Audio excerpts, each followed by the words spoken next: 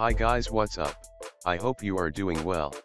Today in this tutorial, I am going to show you that how can you create 3D text in Photoshop, this tutorial is for beginners. So without further ado let's get started.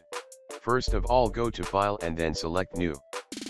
Here you for square image put these values. Click OK.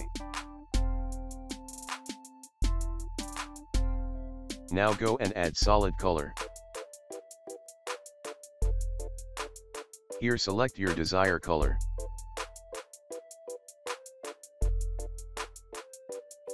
Now select text tool and type whatever you want.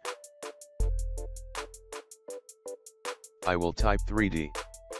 Font link is in description.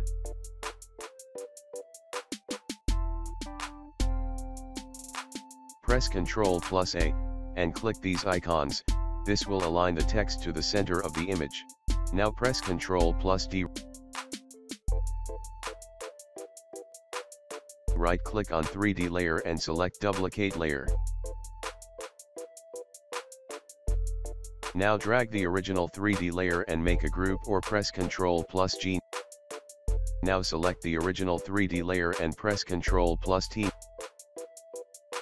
Now press the down arrow key once and press the left arrow key once.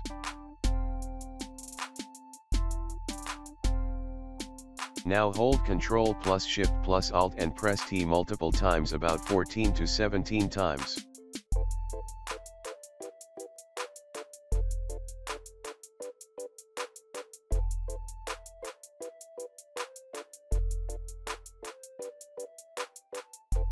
Now select the group and go to FX and select color overlay. Here select the black color.